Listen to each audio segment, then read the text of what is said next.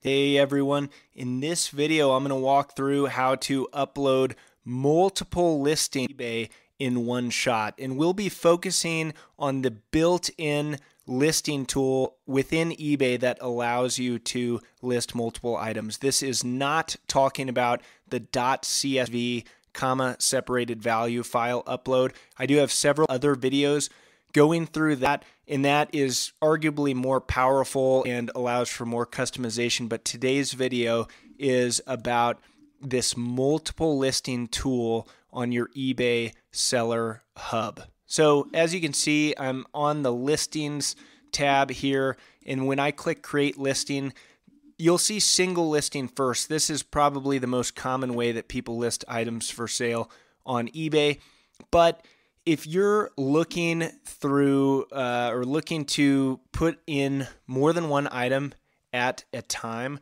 this might be a better use of your time to do it this way as opposed to one single item at a time.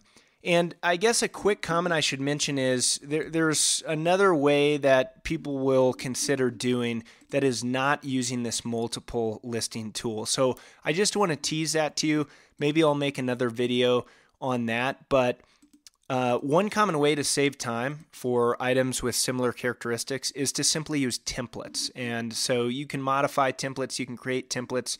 You can see I have quite a few saved here that are for certain types of, in my case, sports trading cards, where I can pick one of these templates and I can then list a single card that has a lot of those characteristics already built in. And so this is another good way to do it. But I'm going to walk through this one today. Uh, he, here's a couple reasons why you would want to do this instead of the .csv upload. And as a disclaimer, I use a CSV import for all my listings uh, 99.99% of the time. That is my personal primary way to do it. The reason for that is that I'm very familiar with it. I know the ins and outs of the .csv comma separated value upload. Uh, and so that makes sense to me. So I'm going to do what makes sense to me. But it's a little bit more technically advanced than this built in eBay seller tool. And this is free, uh, of course, unless you're creating listings that have fees attached to them. But if you haven't seen this, check out my other videos but this is a lot more powerful. Uh, the downside is it takes a lot more technical nuance to get it right so that eBay can take in basically an Excel spreadsheet and just put all of those things onto your store. So that's my disclaimer.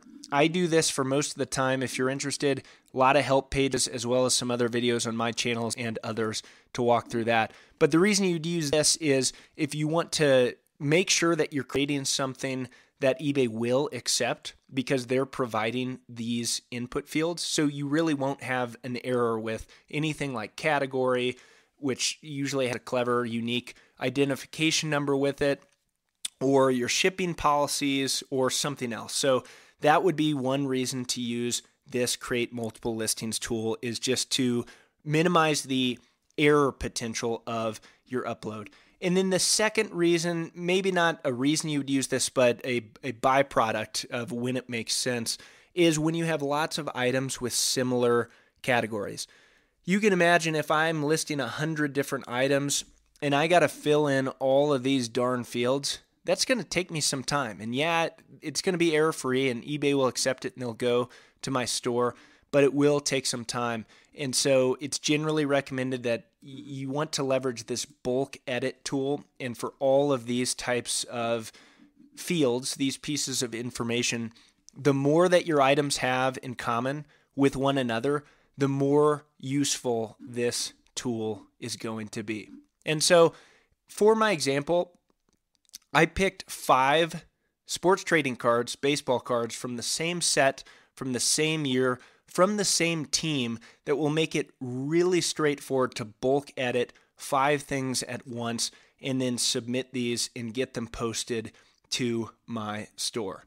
And so the first thing I'm going to do is uh, I have this blank listing. It defaults to my most used category here. So I did not choose this before this video started. When I click the button, this is what my item category defaults to.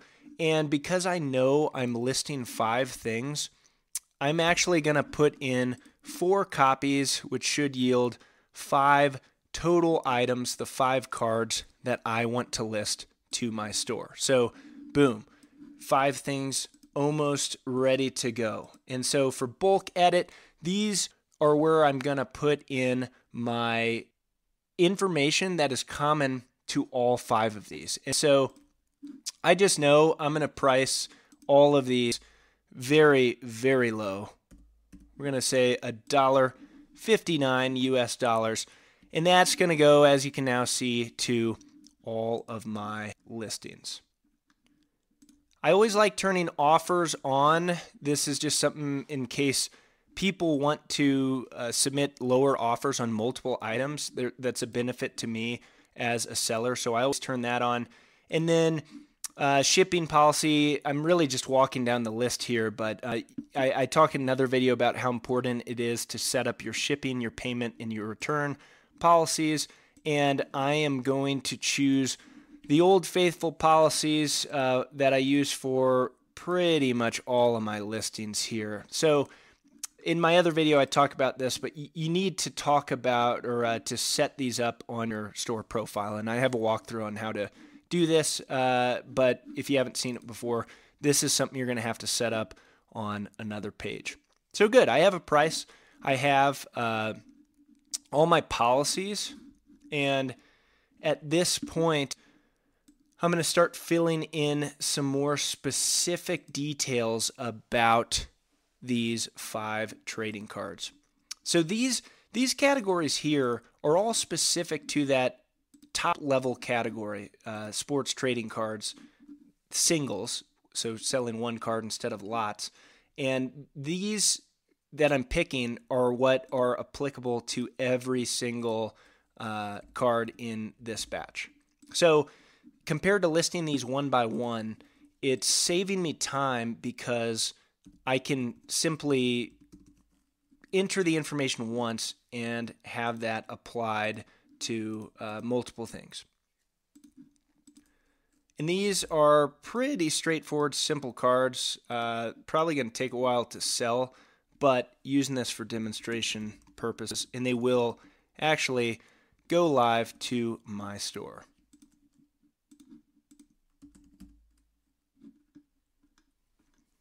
One other feature of this thing is you get to see what the most common entries are to eBay for these different categories. And so I'll see a lot of people, they'll use their own upload, upload tools and maybe they uh, will, you know, have something different than what eBay expects. And, and this is actually pretty bad.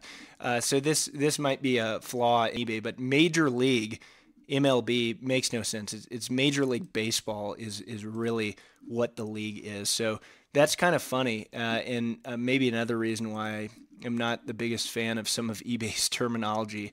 But uh, you can see here, in most cases, you want to know is it yes or no. That way, you're not putting in some nonsense uh, to your listing if you're not using something like this. I always put baseball card as the value. This is free form, so I, I think it helps the search engine optimization, the algorithm, if you type in something that isn't in your title, maybe isn't in your other card features, but still might get uh, some people searching for that term baseball card. So that's enough for now. And you can kind of see the uh, the dealio there. So we're almost there, but I still need the specifics for what is unique to these individual things. And so when I click this edit button, this takes me to that single listing. And this is where you're going to have to put in your uh, specific information about that item. And so off screen, I'm looking here at these cards. I'm flipping them over and I'm typing the information about the first card in my stack. The other thing you'll need to consider off screen is that you need to have a way to get your photos tied to this listing. So a few ways to it. You can add photos and you can drag and drop from your file explorer on your local device what you're using. If you click this button, it will actually send a prompt to your smartphone where you can then take pictures and tie them directly to this listing, which is pretty cool. Or you can upload photos from the web if you have a publicly accessible URL. Now, I have already taken the liberty of scanning this these cards, and they are saved. Uh, they are saved locally. So uh, you probably won't see it here, but I'm actually going to select the two photos that I scanned in from my local laptop, and you can see them pop in here. I also have a project associated with these. Um, the, this is something I could have applied to all four or all five of them. Uh, and so in that case, um, I could have used the bulk edit. And then the other nice thing about these eBay things is it can kind of infer some of these characteristics after you've put in, say, a title. And so it knows that this player is Octavio Dotel just because I typed it into the title here. So this is still slow, in my opinion. As you can see, it's slower, I should say, than what I normally do. And so when I'm doing this with my bulk upload template, I already have a description baked in for every single card, uh, and it, it's a lot faster than this. Uh, and I actually have a uh, text file, so I can go ahead and put that in. Show all options. Let's see if it likes my HTML uh, that I copied and pasted. It may not, and I don't really care, but uh, this is meant to be HTML. So there we go. That is one single item, um, and you can see it takes a bit to save.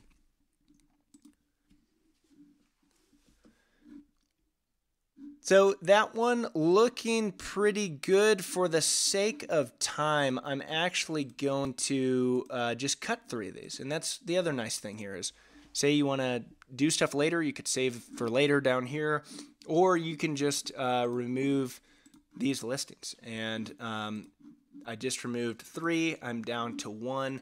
At this point, I'll enter that single card view. And I'll do this exercise just one more time here.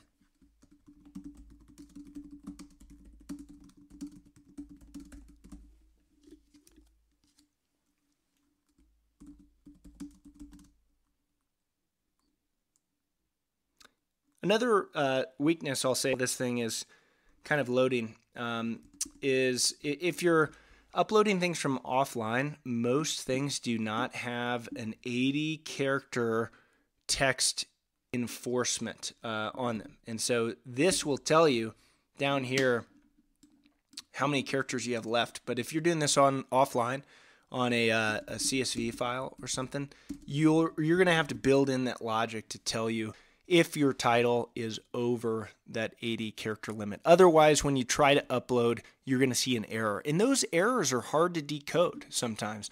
Uh, so if, if you haven't done it successfully before, that would be, once again, another reason why you might consider using this style of upload as opposed to something a little bit more technically rigorous.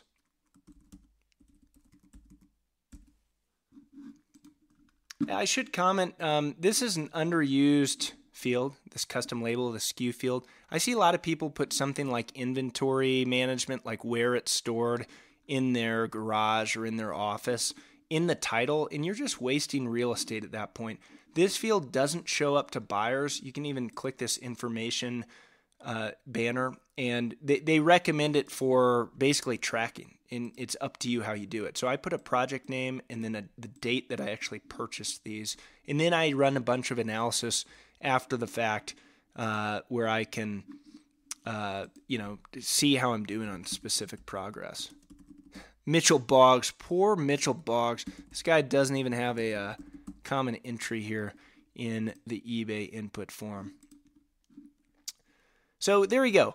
This is less information than I would normally put in. Heck, I don't even have a description, but uh, I can always edit that after the fact. But when I click done, I got my two items. Everything's looking good, namely the price, namely the offers, the policies. You can see 11 completed. Uh, and and I'm ready to rock. I got my pictures tied in, so I'm just gonna click submit, knowing this is a little less quality than normally normal, uh, but it's hopefully uh, something that you're. look at this.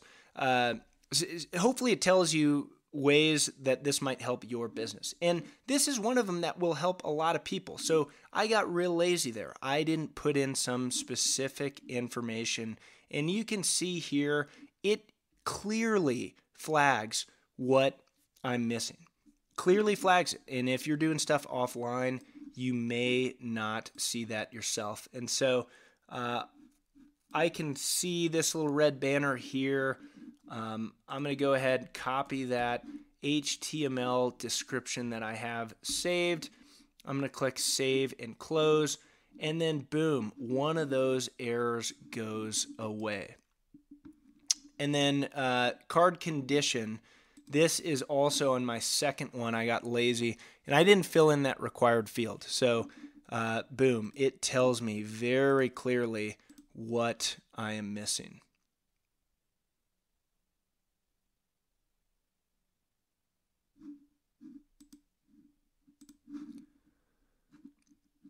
All right. Um, so in that case, oh, this may have been the button I was looking for. I think that's good. So look at that. Hey, I got my italics, I got my bold, I got my bullet points. So that's another nice benefit of walking through this one more time.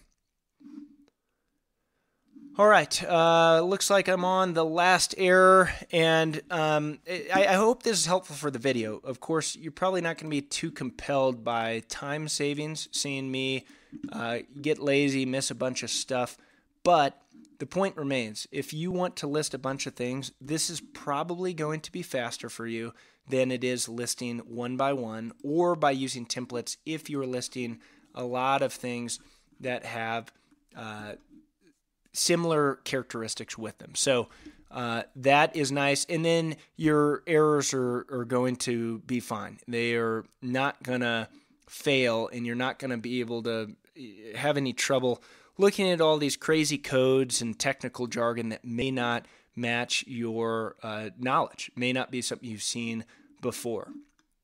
And um, so there we go. These two things are live right now. I can fact check it right away. I don't have to do any more troubleshooting. You can see here, here's my first one, Octavio, Do- Octavio Dotel, World Series champion, I should add. It has my policies applied and it has that information that I just put in, as well as this HTML description, which is also a little bit more than the scope of this video, but might be a good idea for you just to use HTML converter to turn plain text into something a little bit more organized, a little bit prettier, we'll say, uh, so that you can just simply paste that into your descriptions as HTML. So, hope you found that helpful. Would love to hear your comments.